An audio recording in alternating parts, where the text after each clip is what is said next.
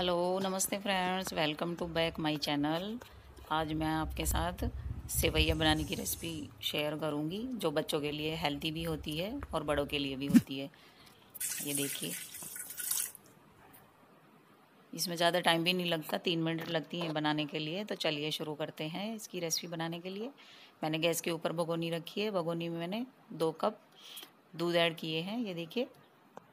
और ये जो मैं इसमें ड्राई फ्रूट्स डालूँगी, वो है एक कि थोड़े मैंने किशमिश लिए हैं, कुछ बादाम हैं, कुछ काजू हैं और थोड़ा सा नारियल कटा हुआ। देखिए हमारा दूध बॉईल हो चुका है। अभी मैंने इसमें एक कटोरी सेवैया ऐड किया है। मैंने एक कटोरी सेवैया लिया है और दो को दो कप दूध। अभी हम इसको अच्छे से मिक्स कर देंगे दूध में। ये देखिए, गैस की फ्लेम आप चाहे तो हाई या वो कर सकते हैं। स्लो ये देखिए, एक चम्मच मैंने इसमें बादाम ऐड किया है और एक चम्मच मैंने नारियल कटा हुआ और बाकी मैंने गार्निश के लिए साइड में रख दिया है। अभी हम इसको अच्छे से मैश करेंगे मिक्स करेंगे, सॉरी।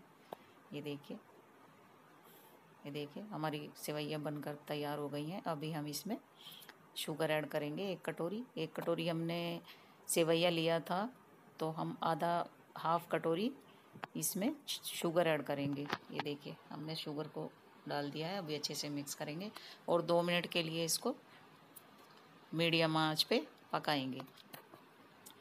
ये देखिए शुगर डालने के बाद थोड़ा पतला हो जाता है तो इसलिए हम इसको दो मिनट के लिए पकाएँगे।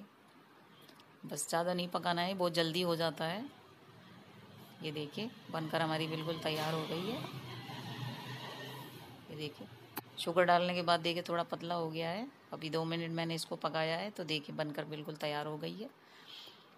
अभी हम चलते हैं सर्व करने की तरफ़। ये देख के मैंने बाउल में इसको ट्रांसफ़र कर लिया है। अभी हम इसको थोड़ा सा जो हमारे ड्राई फ्रूट्स कटे हुए रखे थे, उससे हम इसको गार्निश करेंगे।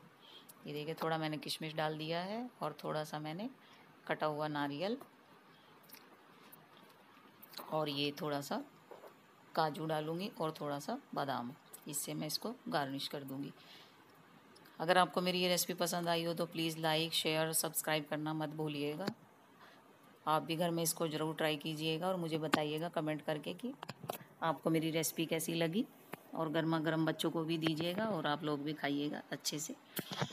बना के ये देखिए, हमारी बनकर बिल्कुल तैयार हो गई है। कितनी बढ़िया लग रही है और कितना अच्छा भी कलर आया है। मैंने खा के टेस्ट की है तो बहुत अच्छी बनी है। आप भी बनाइएगा। Thank you and bye bye